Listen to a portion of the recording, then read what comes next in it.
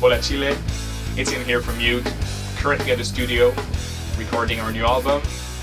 Uh, we're gonna be back in Santiago March 4th, playing with uh, the We Are One tour, featuring Lagwagon, Belvedere, uh, Adrenalized, and uh, last time we played there it was really cool, so uh, we're really looking forward to it.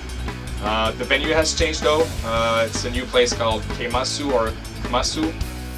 Well, it has changed. I don't know if I'm pronouncing it right, but uh, we'll see you real soon. Have a good one.